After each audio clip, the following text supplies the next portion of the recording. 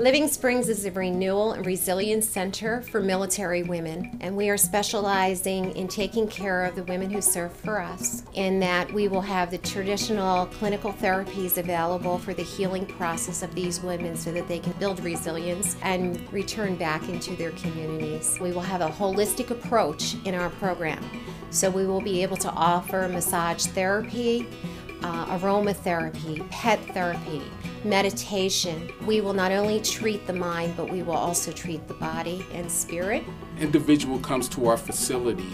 There's a team approach doctors, nurses, social workers, and we all come together with that patient and come up with a plan of what we can do to help that patient to treat the symptoms of the illness and promote um, healing.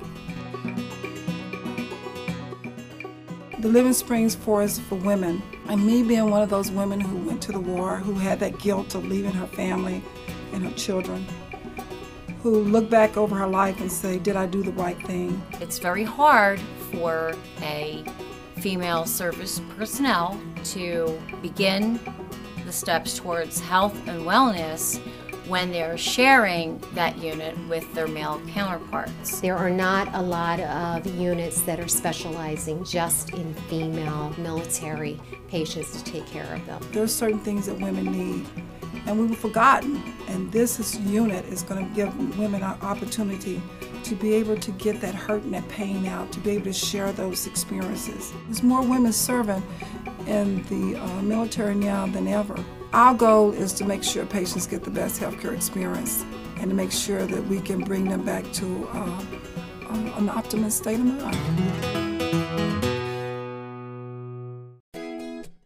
If you think about the women that will serve, they've been in combat, they've seen some very horrible things that you and I may never experience in our life. So we said, how can we design this so that we can take it one step higher and really create an environment where they will feel comfortable, they will feel that there's hope, they will feel strength in the environment.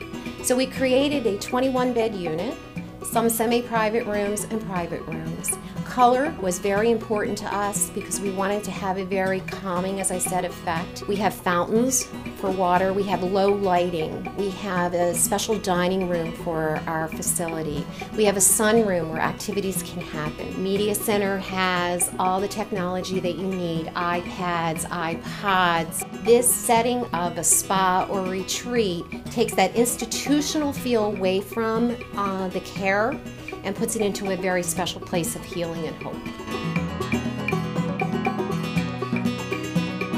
For the family members, um, they are so important to the reintegration of this military woman or all military to be able to come back and reintegrate uh, and reconnect with the military.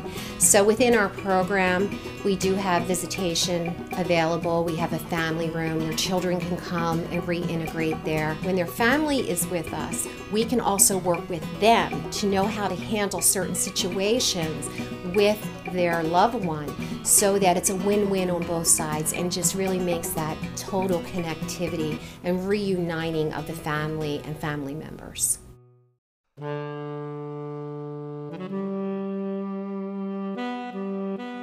It makes me happy to know that people care enough. I always tell my staff when you see somebody in the uniform, tell them thank you for serving. These are service personnel who have dedicated their time, their lives, their efforts to ensure our ongoing freedom as a country. They're fighting to protect us, and they come back and they're wounded, they're emotionally wounded, and they need us. They need us to say, We appreciate what you do for us.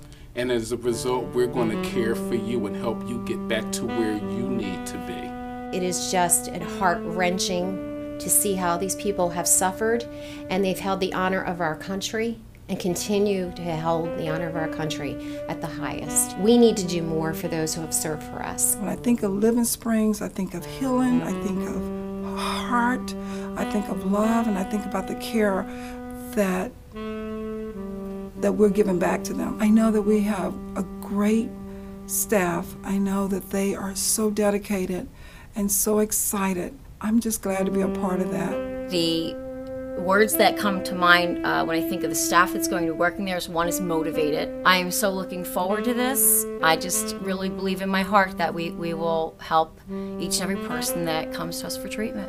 When Lourdes uh, decided to open up this unit, I was so excited. And it just touched my heart in so many ways. Because even though I might have had a strong mind, I know so many that didn't. And at that time, they needed something like this. They have a great title for it. Living Springs is like, I'm going to get a chance to live all over again and be able to give back. And here you have another person helping another person, and they keep going. And I just think that's wonderful.